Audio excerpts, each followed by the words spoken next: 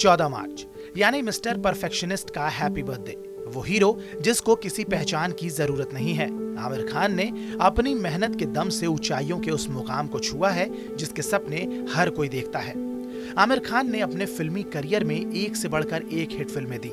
इतना ही नहीं, आमिर खान का नाम उन बड़े सितारों में भी शुमार है, जिनके साथ लगभग हर कोई काम करना पसंद करता है। बता दें कि आमिर आज अपना छप्पनवा जन्मदिन मना रहे हैं।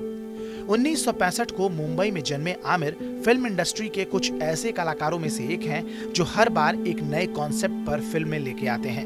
उन्हें अपनी फ़िल्म में सब कुछ परफेक्ट चाहिए होता है। इसके लिए वो पूरी जी जान लगा देते हैं। बता दें कि वो मात्र 11 साल की उम्र से फ़िल्मों में काम कर रहे हैं। आमिर खान को एक्टिंग का बचपन से ही शौक था।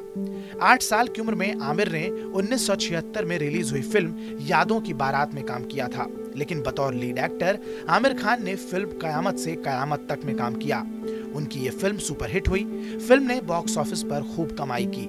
इस फ़िल्म ने कई अवार्ड्स भी अपने नाम किए।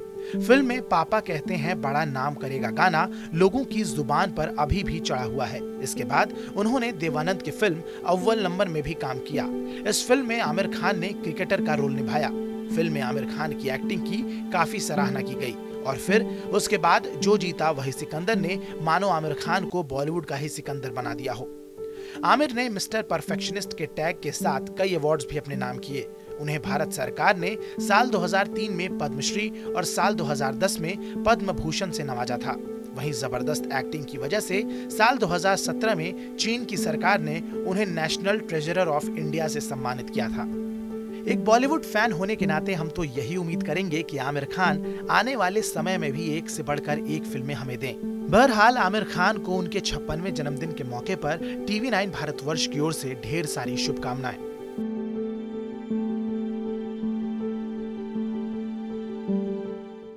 परवाह देश की। सोमवार से शुक्रवार रात 10 बजे टीवी 9 भारतवर्ष पर।